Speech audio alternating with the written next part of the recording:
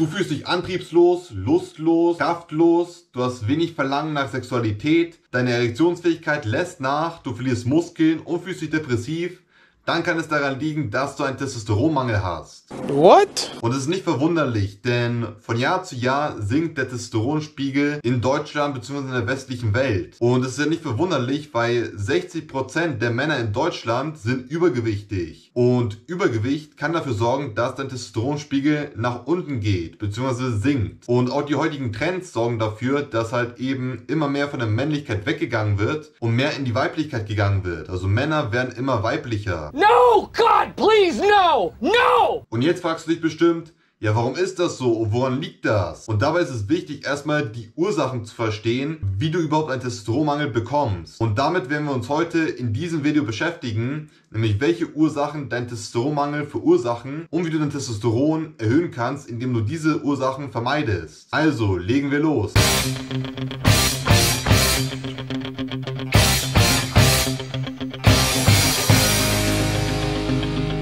Also, als allererstes können Zucker und raffinierte Kohlenhydrate dafür sorgen, dass dein Testosteronspiegel nach unten geht. Und das liegt einfach vor allem daran, dass wenn du zu viel Zucker und zu viel raffinierte Kohlenhydrate wie Weißmehl konsumierst, dass du in eine Insulinresistenz gerätst. Und eine Insulinresistenz bekommst du dadurch, wenn du halt eben viel Lebensmittel mit einem hohen glykämischen Index konsumierst. Und das sorgt dafür, dass dein Insulin steigt. Und das sorgt dafür, dass die Zelle dein Insulin blockiert. Und Insulin transportiert halt eben das Zucker vom Blut in die Zelle hinein, aber sobald die Zelle halt einfach überfüllt ist und überbelastet ist, dann blockiert es halt eben das Insulin und das sorgt dafür, dass das Insulin halt eben irgendwo die Glucose anders abspeichern muss, also den Zucker und es speichert dann letzten Endes die Glucose als Fett ab. Und das sorgt dann halt eben für Übergewicht und Übergewicht sorgt dafür, dass der Testosteronspiegel sinkt. Komplikationen entstanden, dauerten an und wurden überwunden. Deswegen ist es am besten auf jeden Fall auf eine Low-Carb-Ernährung zu gehen und weniger Kohlenhydrate und weniger Zucker zu konsumieren. Und das sorgt dafür,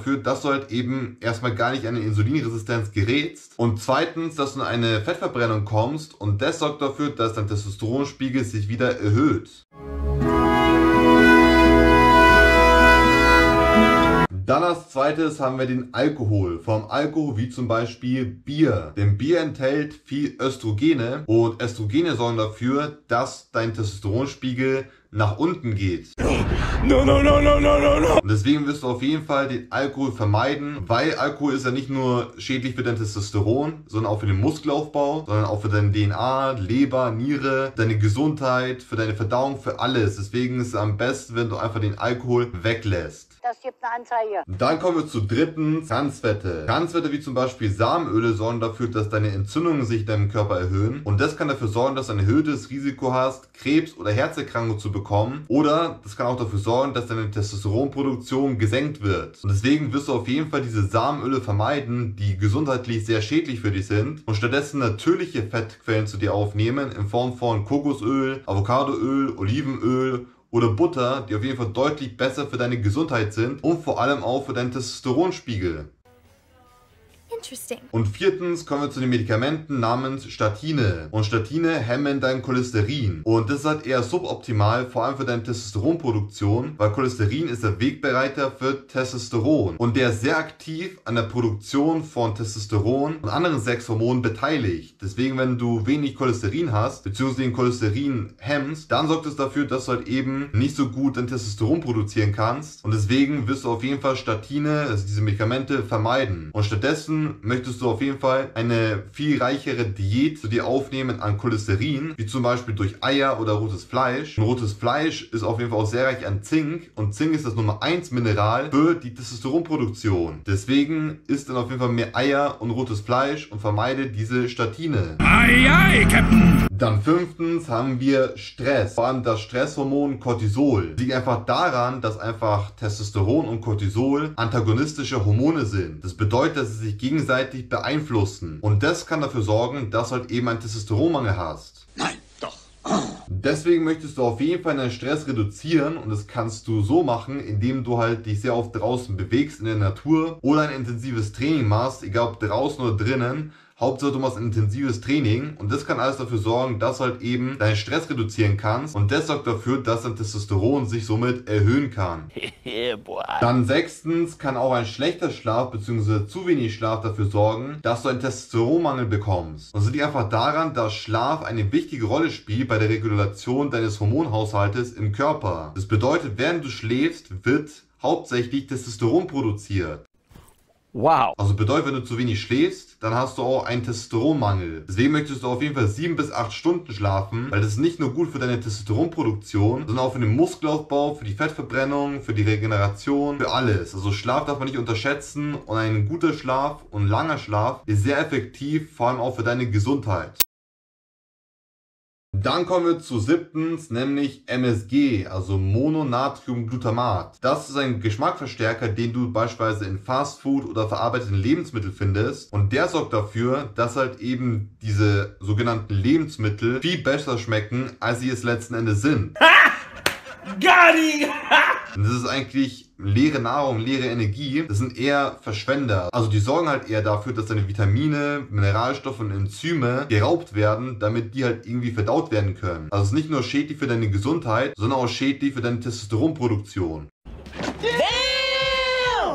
Dann kommen wir zu achtens, nämlich Soja. Und Soja findest du heutzutage in vielen Lebensmitteln oder Produkten, wie zum Beispiel Salatdressings, Proteinriegel und Proteinpulver. Und wenn du halt zu viel Soja konsumierst, dann kann es dafür sorgen, dass halt eben deine Östrogene im Körper sich erhöhen. Und das sorgt für einen Testosteronmangel. Und auch wenn Frauen zum Beispiel viel Soja konsumieren, dann sorgt es dafür, dass ihr Östrogen, dieses pflanzlich schwächere Östrogen, blockiert wird. Und das sorgt für einen Östrogenmangel bei Frauen. Und das ist eher suboptimal für Frauen. Deswegen ist es am besten, weniger Soja zu konsumieren für Männer und Frauen. Und wenn man schon eher Soja konsumieren möchte, dann sollte man trotzdem in geringen Mengen Soja konsumieren, aber dann fermentiertes Soja wie Miso, Natto oder Tempeh oder fermentiertes Tofu zu sich aufnehmen, denn das ist zumindest besser als halt eben dieses unfermentierte Tofu.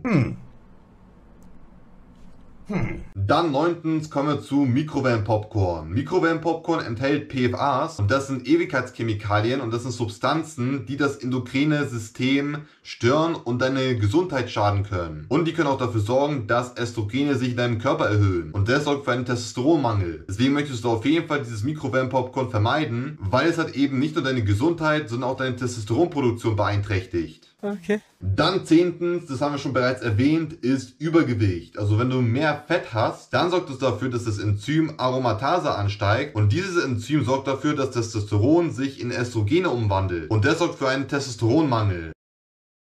Deswegen möchtest du auf jeden Fall auf eine Low Carb Ernährung gehen und dazu noch Intervallfasten mit einbauen und ein Kaloriendefizit gehen. Denn das sorgt dafür, dass du besser in eine Fettverbrennung kommst, dass du besser Gewicht dir verlieren kannst und dass du somit deine Testosteronproduktion erhöhen kannst. Nice. Dann elftens kommen wir zu Aspartam. Und Aspartam findest du beispielsweise in Limonade. Und dieses Aspartam dringt in dein Gehirn ein und sorgt dafür, dass deine Testosteronproduktion gestört wird. Denn dein Testosteron wird von dem Hypothalamus im Gehirn kontrolliert. Und wenn Leute zum Beispiel Demenz oder Alzheimer haben, dann sinkt auch ihr Testosteron. Deswegen, du möchtest auf jeden Fall das Aspartam vermeiden, also Limonaden vermeiden und auf eine Low-Carb-Ernährung gehen. Und das sorgt dafür, dass du halt dann eben Ketone generierst, die eine sehr gute Energiequelle für dein Gehirn sind. Also sie helfen deinem Gehirn am besten zu funktionieren, weil dein Gehirn arbeitet am besten, wenn es Fette verbrennt. Und somit bist du viel konzentrierter, viel effektiver und viel energiereicher über den Tag hindurch. I'm proud of you, you know that.